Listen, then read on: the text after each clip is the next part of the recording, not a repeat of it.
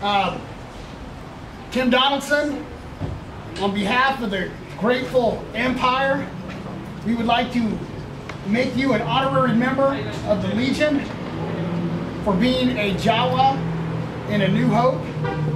Welcome to the garrison, uh, or uh, the Legion.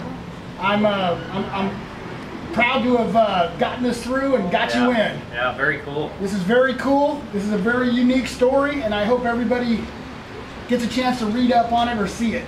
Yeah, thank you very much. Welcome to the garrison, buddy. Yeah. All right. All right. That is great.